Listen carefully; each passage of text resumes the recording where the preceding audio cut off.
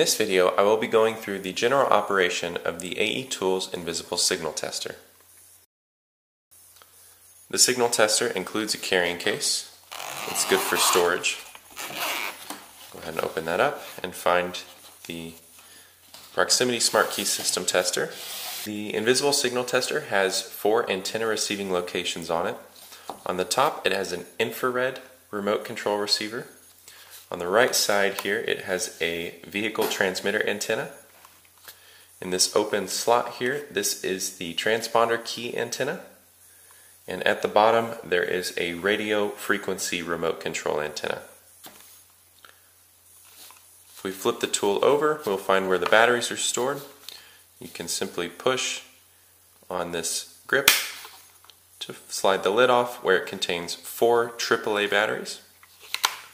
We'll put that back on, turn it over, and the tool is powered on by simply pushing the power button once.